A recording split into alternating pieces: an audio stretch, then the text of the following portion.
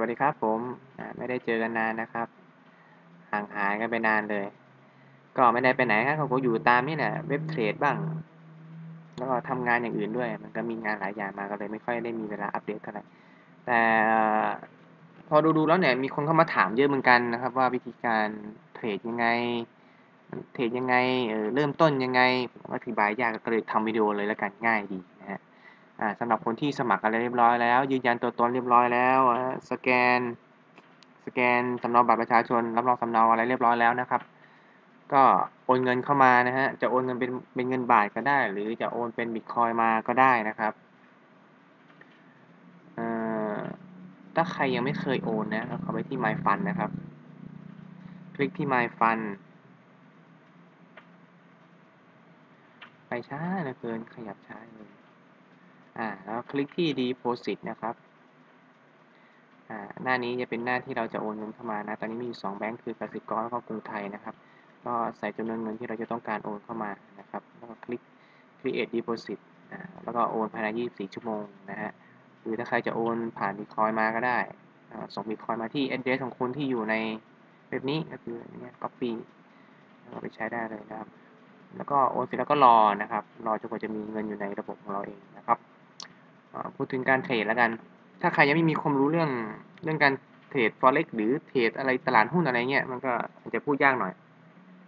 แต่มันก็ แต่มันก็ไม่ได้หมายความว่ายากจนเกินไปหรอกนะครับ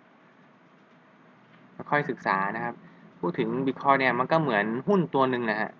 หุ้นตัวหนึ่งนะครับ มีขึ้นมีลงนะครับ มีคนซื้อก็ต้องมีคนขายนะมีคนได้กำไรก็ต้องมีคนขาดทุนนะครับวิธีการซื้อเนี่ย เราก็ดูวิเคราะห์จากกราฟแหละ ด้วยความรู้ที่เราที่คุณมีอาจจะใช้ indicator หรืออาจจะติดตามข่าวสารอะไรอย่างเงี้ยนะครับ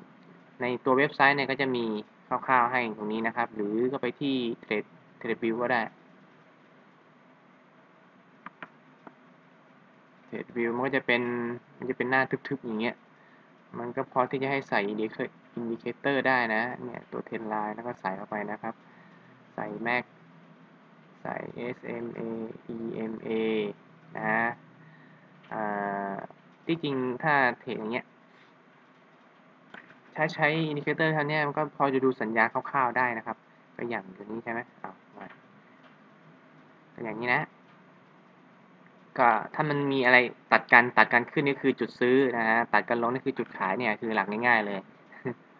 หลักง่ายๆเลยหลักพื้นฐานแล้วก็อันนี้คือดูช่วงเวลา ถ้า ช่วงเวลาเขาเรียกว่าหลายๆวันเนี้ยสิบสี่วันเนี้ยความแม่นยำก็คือก็จะ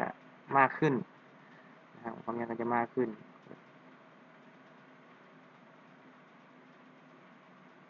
เอาเป็นหน้านี้ด้วยกันแต่โดยปกติผมก็ไม่ค่อยใช้ของที่ที่ที่เว็บเขาจัดให้เท่าไหร่เพราะว่ามันมันไม่ค่อยละเอียดเท่าไหร่โดยส่วนมากผมอาจจะเข้าไปใช้ของ Trading View อะ Trading View นะครับมันจะมีของ BX นะ เมื่อก่อนมันไม่มีนะครับ ผมเคย ผมก็เลยส่งเมลเข้าไปให้เขาให้เขาเขาเรียกว่าอะไรอะไรนะเขาเรียกว่าอะไร ส่งเข้าไปฐานข้อมูลฐานข้อมูลให้อะเขาก็เลย มันก็เลยมีนะฮะแล้วก็ประสานงานไปทาง support ของทาง BX ด้วยทาง BX เขาก็เคยส่งไปเหมือนกันสงสัยมีคนขอไปเยอะๆฮะ มันก็เลยเขาก็เลยทำงานดำเนินจัดการให้นะครับ แล้วก็มันก็มี ตลาด trade ที่อื่นให้ได้ให้ให้ด้วยนะครับ ผมก็ลองเข้าไปดูได้นะอย่างเงี้ยที่ตรงนี้แล้วก็อย่างบิตคอยน์มีมีหลายสกุลเงินเลยนะครับ ก็เลือกก็เลือกใช้ดูแล้วกัน ผมว่าเว็บไซต์นี้มันก็โอเคนะ indicator อะไรก็อะไรโอเคด้วยนะครับ แล้วก็มันจะมีเขาเรียกว่าอะไร indicator ของคนที่เขาปล่อยปล่อยกันเนี่ยก็จะมาให้เราใช้ได้ฟรีๆอยู่เนี่ยฮะพวก indicator ต่างๆ built-in เนี่ยมี public มาเนี่ย public library นะฮะ มาลองหาดูนะมันมีตัว indicator ที่เขาให้ใช้ฟรีอะ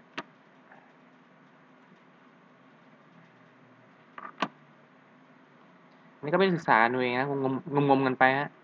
งมไปเรื่อยๆก็เจอเองไงอ่าพูดถึงกลับมา BX ก่อนแล้วกัน โอเคนะครับ เราหาจุดซื้อจุดขายได้แล้วนะครับ หาจุดซื้อจุดขายได้แล้วนะครับ อ่า เราต้องการซื้อนะฮะ เราต้องการซื้อแล้วคลิกที่ buy order นะครับเพิ่นว่าเงินผมหมดแล้วนะเพราะผมซื้อไปแล้วไม่ได้ถ่ายวิดีโอไปด้วย สมมุติว่ามีแล้วกัน ผมต้องการซื้อ 1,000 บาทนะครับ แล้วก็ตัวนี้จะเป็นราคาบิตคอยนะฮะ จะเป็นราคาบิตคอยเป็นราคาต่อ1บิตคอยอะก็คืออันนี้เป็นราคาล่าสุดที่อยู่ในตลาดนะครับ ที่มีการซื้อขายกัน นะแน่นอนครับผมไม่ต้องการซื้อราคานี้ ผมต้องการซื้อราคาที่มันถูกกว่านี้อาจจะซื้อมาสักเจ็ดพันเก้าอย่างเงี้ยเก้าเก้าอย่างนี้นั่นถึงหนึ่งแล้วก็ ผมซื้อราคาหนึ่งพันในราคาเจ็ดพันเก้าเก้าเก้าผมก็จะได้รับบิตคอยศูนย์จุดหนึ่งสองสี่ดุดดุดนะฮะลงตามนี้ผมก็โอเคคลิก create order ครับ แล้วก็ yes confirm order นะครับ order เราจะมาอยู่ที่ my open order นะครับมาดูที่ sell order แล้วกันเพราะว่าผมมี bitcoin อยู่นะผมต้องการขาย bitcoin ถ้าผมต้องการขายทั้งหมด อันนี้เป็นราคาตลาดล่าสุดที่มีการซื้อขายกันนะครับ แน่นอนนครับ ผมคิดว่าราคามันต้องขึ้นกว่านี้แน่นอนนะผมขายที่9,800ผมก็จะได้รับหนึ่งหมื่นกว่าบาทนะตัวตัวจะก็คลิกที่ add order นะครับแล้วก็ yes ปึ๊บมาแล้วอ่าโอเคนี่ฮะนี่เป็นรายการที่เรามีการซื้อขายกันแน่นอนครับ ถ้าสมมติว่าเราเห็นว่าราคามันน่าจะไปได้ดีกว่านี้ เราสามารถยกเลิกได้ตลอดเวลานะครับ ยกเลิกได้ตลอดเวลา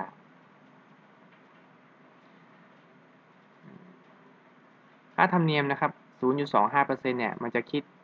ในกรณีที่ว่ามีเกิดการซื้อขายที่สำเร็จแล้วนะครับ ไม่ต้องไปคิดมากนะ ส่วนในตัวที่เราเห็นเป็นลูกไฟหรือว่าสามช่องนี้คือ มันเป็นตารางที่คนเขามีการตั้งราคาซื้อขายกันนะครับซ้ายสุดก่อนก็คือเป็นราคาที่มีการซื้อขายกันล่าสุดนะฮะลูกศรพุ่งขึ้นสีเขียวพุ่งขึ้นก็คือ มีคนซื้อไปนะครับ มีคนซื้อไป ส่วนลูกศรสีแดงคือมีคนขายนะฮะอย่างนี้มีคนซื้อ เมื่อ 42 นาทีแล้วเนี่ยมีคนซื้อ8,001 ที่จำนวน 0.12 วอลลุ่มนะ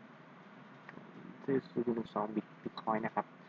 อืม ไอตัวนี้ก็คือเป็น buy order นะครับ เป็นราคา เป็นราคาที่คน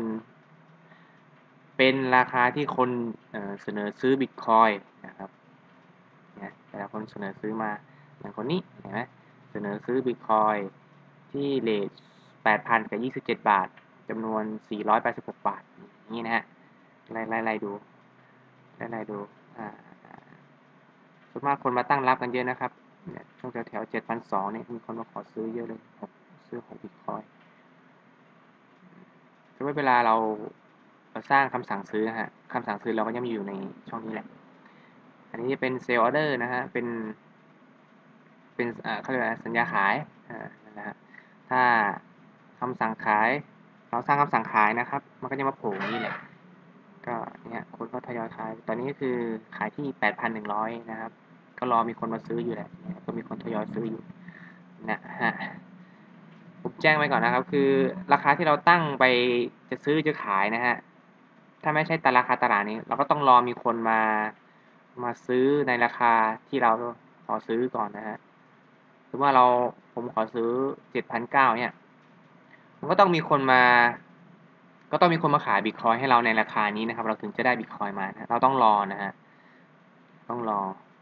แต่ถ้าคุณไม่อยากรอนะฮะใจร้อนไงนะฮะคลิกนี่ตรงนี้เลยครับผม มันจะจัดราคาให้เราเลยอัตโนนาโทอัตโนมัติเลยนะฮะมันจะจัดทำให้เราอัตโนมัติเลย อาจจะเป็นราคาตลาดนี่แหละโอเคไม่มีอะไรมากนะพอซื้อเสร็จแล้วก็รอนะฮะแล้วก็วนวนอย่างเงี้ย ซื้อขายซื้อขายซื้อขายนะครับหลักๆก็คือ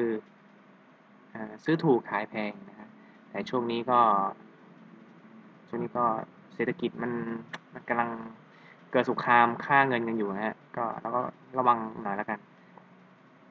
ระวังกันหน่อยแล้วกันนะระวังกันหน่อยแล้วกันก็คือจะซื้อจะขายระวังติดดอยนะฮะบางคนซื้อได้ถูกไม่แน่ครับ ครึ่งชั่วโมงมา ราคาถูกกว่านั้นก็ยังมีนะไม่ต้องซีเรียสอะไรมากมายนะมีขึ้นมีลง โอเคครับผมขอบคุณมากครับผม